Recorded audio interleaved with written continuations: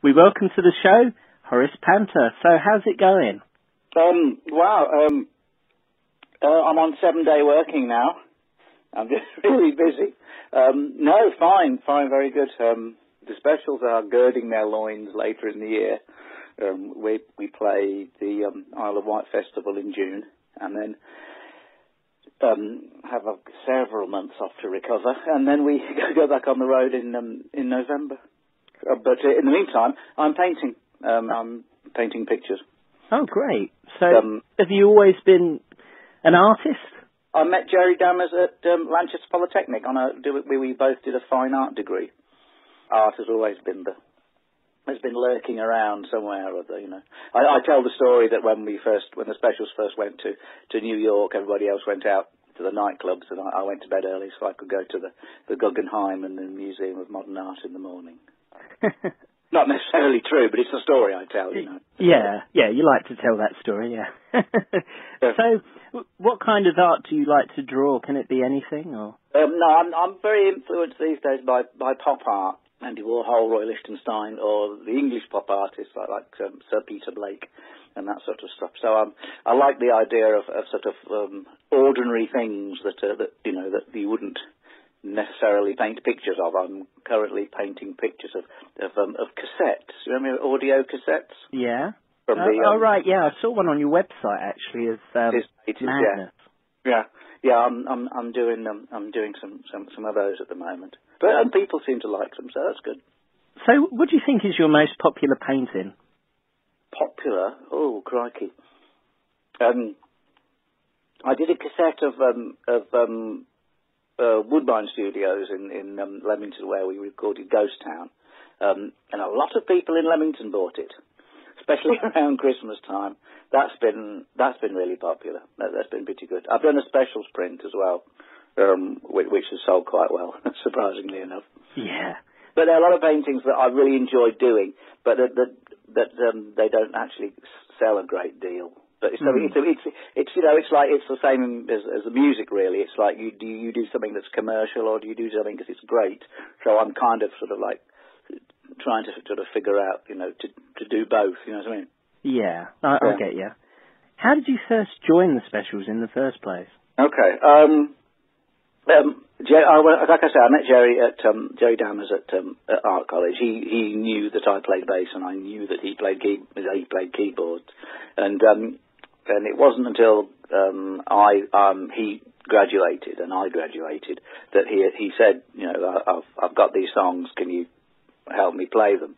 Um, join this group, which I suppose was um, 1976, 77, and um, it was like, and they were these uh, these sort of funky songs and these kind of reggae songs. The funk stuff was okay, I could cope with that, but but reggae was a bit peculiar. I didn't really know how to play that. But luckily, I met um, um, I met Lynval Golding. He was in the group as well, and um, his mate Desmond Brown, who was the later to be the keyboard player in the Selecter. He used to come round my little flat and and sort of and say, right now listen, the bass go dun da da da da da da you know, and it's like I don't understand what you mean, but then I but I eventually got it, you know, um, and then it was a it was um there were four of us. There was myself, Jerry Lynval, and this guy called Silverton, who was the, the drummer. Then we got a, a, singer in. Uh, He didn't last too long. Then we got so we got Terry in, but around about the same time as we got Terry in, we got Roddy in. Um, and then um, so it just sort of sort of snowballed from that. It didn't really snowball. It was it was quite a quite an effort.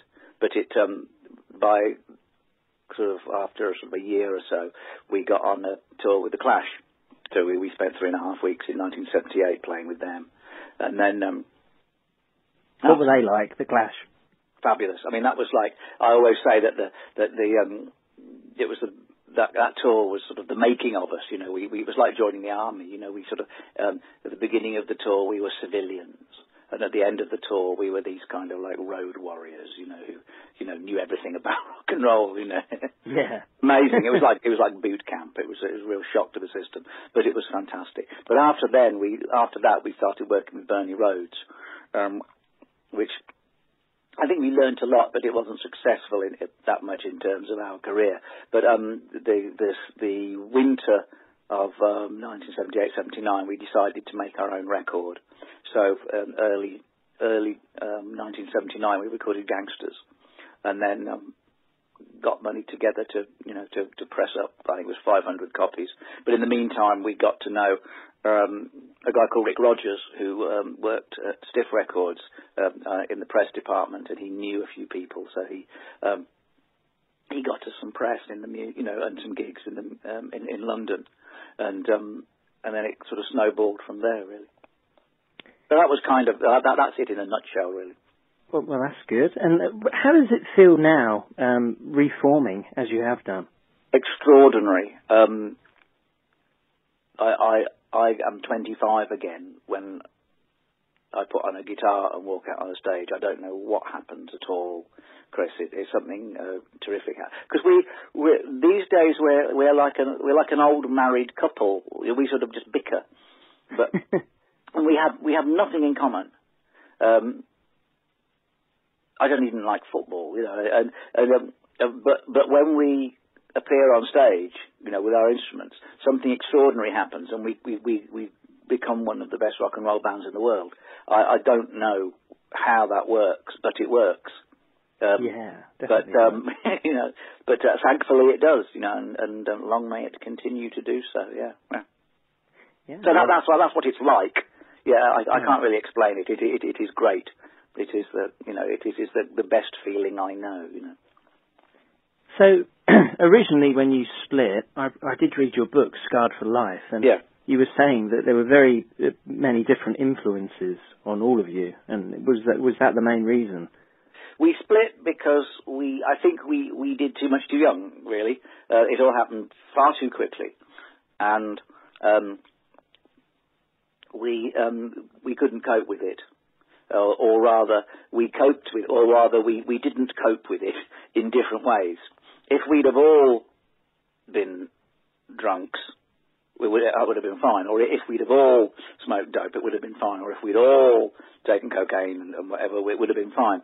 Um, but it wasn't. We were all we were all different, you know. And I think it just that sort of fame, celebrity thing. It just exaggerates what you are anyway. Mm. You know what I mean? So if if you were a bully before you became a pop star, you'd be even more of a bully when you are. You know, if if you drank a lot before you became a pop star, you'd be even more of a drunk when you were a pop star. Do you know what I mean? Or yeah. if you were kind of retiring and shy, you know, before you were a pop star, you were even more reclusive when yeah. you were. You know, so it was it was kind of difficult. So I think we just sort of started going in different directions and just kept right on going. And there, in the end, there was just nothing to keep the group together. It was, was very sad that there was no one particular point, you know. We never had fights, we never had fisticuffs or anything. It just broke down. Deceived, yeah, and and it, yeah, it just it just broke down. Just sort of grad, gradual, what is it? Entropy, which is the sort of the natural order of things, anyway.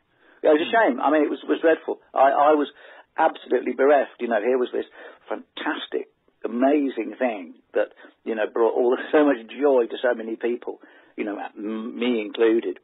And it just fell to pieces, and there was nothing I could do about it. It was awful. Luckily, you're back though now. Mm. yeah. Are you uh, thinking of recording any new material soon? We're thinking or? about it, yes, because it's it's like, well, what are we going to do? I mean, can we, we, you know, it's all very well we just go out and play, you know, Concrete Jungle and Message to You, Rudy, and Nightclub and Gangsters and whatever. But I'm, you know, it would be a good idea to record some. We, we we talk about it from time to time, but we we, we don't actually get it together. It, I don't know. It, it must be very hard though, because it must be did. a bit of a well, not a worry, but you must think, well, the music we did was so great. Um, we're we're a hard act to follow, if you know what I mean. Yeah. Yeah, yeah. So it, it, must be hard to to get a song together that's worthy of your previous. Well, that that that's it. Yeah, yeah. And they and there is a a, a, a lot to be said for give the public what they want, and you know people yeah. see us to to um to you know to to play the old song. I went to see Reel Big Fish. You know them. Oh um, yeah, I know. Yeah. Um, a, a, a month or so ago, and from the stage, Aaron goes, um, "These are four words that the audience um, dread to hear. Here's a new song." You know. Yeah. And and you know, so the you know even a band like that, like you know, even them, they, they can sort of you know, take the Mickey out, out, out of all that. I'm very aware that you know So I, I, I don't know. It's quite a hot potato. The idea of of, um, of releasing some some, um, some some new songs, but I think it, it might do us good. It might you know it might put us um put us back on. Uh, it might wake us up. I think, which which might might be a good idea. well, Yeah. we love to hear the old songs. I mean, Yeah, they're yeah. they're fantastic. But yeah, I mean, I, I, I think it's a good idea. Mhm. Thank you. so I, re- I was saying I was read I read your book Ska'd for Life. How long did that take you to put it all together? Jeez. Um, I think probably about sort of th- three. I wrote it when when I was a school teacher, and um, um, so I think I started it in 2003. And, and it was, it was, I, I spent a couple of summer holidays doing it. Ah, that's right. I, I was off, I was off work. I twisted my ankle. And it was, I couldn't move. I couldn't, you know, walk around. So I, I you know, and I'd had this idea that, um, that there'd been various attempts at, by fans to to document, you know, the, the rise of their favourite group, and and they were they were okay, but uh, they're factually inaccurate, and Mm. there were a few things that I thought, you know, if I wrote a book, I'd put this in and this in and, and that in, and I got all these diaries that I had when we first went to America, when we first went to Japan, um, and, um, and I had these scrapbooks that my parents, bless them, had, had collected, and there were, there were 11 scrapbooks full of sort of two-tone related interviews and articles. So I had all this this sort of resource material, and I was always the bloke who sort of, well, if you want to know what happened in the specials, ask Horace, because I was the one who stayed sober, you know, and, and I'm, you know, bass players, of course, and um, you know, and I could remember all that stuff. So putting it together was just a question of reading all these articles and diaries and things, which got a jogged my memory for, you know, um, for other things that I'd, I'd forgotten about. And I, I was uh, uh, big buddies with Neol Davies at, at the time, um, and um, and I, I would always sort of phone him, him up and say, well, what, what do you remember about, you know, you know, the concert for One Parent Families at Hammersmith Palais in, in 1970, and, and he'd give his side of events, and, and which would sort of throw a, a, a, light on, on on what we did. So there was, it, it was great fun doing it. I really enjoyed it until I had to go, get to the stage where I had to, you know, detail the the last nine months of the band's career, which was not very nice because the last month, last nine months of the band's career was not very nice. So, Right. But hey, hey ho, you know, but it was great. But I honestly thought, um, I would retire as a school teacher, Chris. I thought that would be it.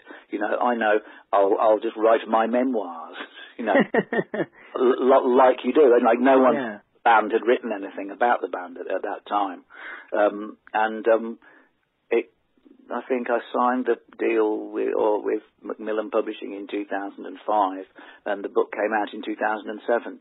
And then, hey ho, you know, a year later, Lynval phones me up and says, you know, fancy going back on tour again. You know, so which was extraordinary. was you very surprised when you got that call? Knocked me over with a feather, absolutely, yes. I know um, there had been a, a few attempts for the 25th anniversary, but I was kind of like, hey, look, I'm a school teacher. I'm just about getting, you know, I finally got, you know, got the real job that my parents always wanted me to get, you know. So I got a family and, you know, I'm, I'm raising children and I'm, you know, once a month I get paid, you know, and I'm, you know, and I'm getting my feet under the table here. Um, so it was kind of like, I, I wasn't that, I didn't take it that, that seriously, to be honest. But then, um, five years later I did. yeah, but luckily you did. Yeah, yeah, amen. Yeah. What's your favourite song that you've recorded with the specials? With the specials, oh, crikey. That I I there's so recorded. Yeah. I really like, you know, um, what I like about you is your girlfriend. Okay. which um, I wasn't in the band when the that that third album got released, but it was such a great groove to play. I really I thought that a lot of the, I recorded three tunes from in the studio, and all of them I think are really I'm really proud of the work that I did. You know, it was just such a shame that you know that um, you know, and then after I played them, I quit. Um, I think that the first album stuff, probably it's up to you, and probably the sec for the second album, probably International Jet Set. Again, because it was difficult, it stretched me. I think live, um, Man at C&A is just an, an amazing song to play. You know, especially now. You know. Oh yeah, it's very atmospheric, isn't it? Yeah, and, and you know what with like Korea, you know, and especially all this business now in in Ukraine. It's like, oh my goodness, you know, the Cold Yeah. War erupts. You know. So yeah, it's um. I don't know. Does that answer your question? It- It's, it's, Yes, it's it does. Yeah. I've recently put together a, a, like a traditional ska band with the guys from the specials who aren't in the specials, you know, like the keyboard player Nikolaj and the horn section, you know, uh, Big John, Tim, Oh, okay. and, and Drew, and um, it's called the Uptown Ska Collective, and um, to to play Skatalites and Rico tunes. So it's really cool, you know, getting revisiting all um, a lot of the, the Skatalites catalogue and um, choosing which, which songs to, to to play live. Yeah, it, it is great going back, isn't it? Um, Lee Thompson from Madness has done a similar thing with his Yes, Ska yeah. Orchestra. Yeah. Fantastic songs. Could you give me um, a, a great reggae song that you like, or a, a great? Oh, uh, 5446 was my number two to the Maytals, definitely. That was quick. That's- That's all right. I'll get that on. Dog's moment, yeah, 'cause we used to use that before we went on stage. But it's just such a fantastic song, it's, and it's just the, the groove is just, you know, I, I defy anyone to stand still while, while when that song's playing. You can't. No, you, it's impossible. Well, thanks a lot for joining us on the show tonight. Chris, oh, it was, it was uh, a pleasure talking to you.